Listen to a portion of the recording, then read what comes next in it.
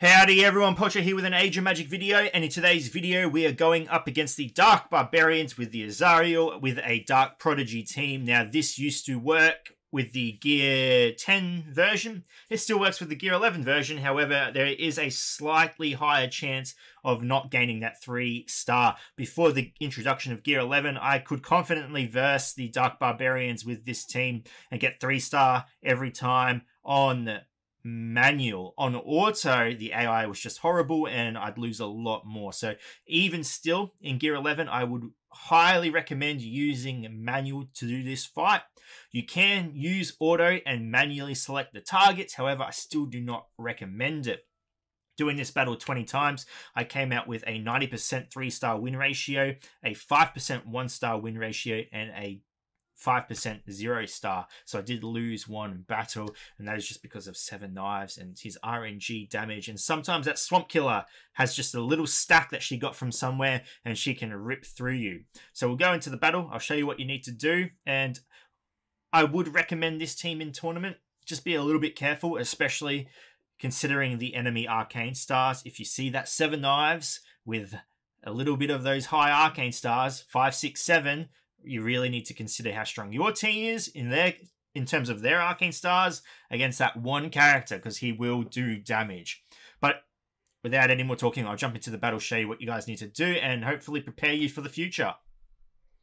Okay, so going into battle, you are going to start off with Maelstrom of Death, apply as many debuffs as you can, and then you are going to follow up with the Gaze of Ishtar, and your first target is going to be Danae. We're going to use the Touch of Ishtar to do a fair bit of damage. Then we're going to use Shadow Strike. Now, you're not always going to get her down to this much HP due to some debuffs sometimes being resisted. But the aim is just to trigger the Azariel passive, which I've never failed to do before the enemy Azariel gets a healing turn. There you go. So we've triggered the passive. Beautiful and we're back up to striking her down. Now, with the debuff removal damage from the Lokia, she will almost kill herself. We're going to use the Gloom.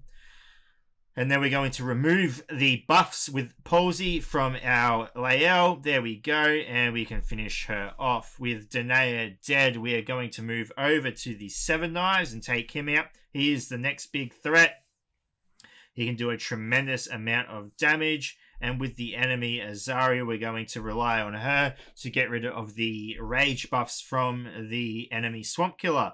Now, you you do not want to use any AoE attacks at this point. Not until your main target is the enemy Swamp Killer. We do not want those stacks to get up. As you can see, we had the AoE from Loki already. We're not going to use it because we do not need to. We're going to heal up there. Beautiful. Then we are going to move to the enemy Swamp Killer from here and take her out. She will start getting stacks up, but that's fine. We're going to apply debuffs. We're going to hit her. Drake, he's one of the bigger damage dealers on the team, to be honest. He can rip through targets. We trigger the Azariel passive on the Swamp Killer. That's fine. We're just going to keep attacking her until we can get rid of her. Shouldn't be too hard. Not going to bother with our there we go. She's down. Wonderful. And from here, up to you what you want to do. You can uh, target the Balara or you can target the Azariel. I'm going to uh, target the Balara first. I like leaving the Azariel up on the enemy team simply because I know I can get an extra bit of healing from her and make sure my team is as topped up as possible. So now we can move on to the Azariel. Should be pretty simple from here. We're just going to put it on auto and the battle will take care of itself. Now, with the introduction of Gear 11, before Gear 11, I I would almost guarantee you would always three star this fight full HP.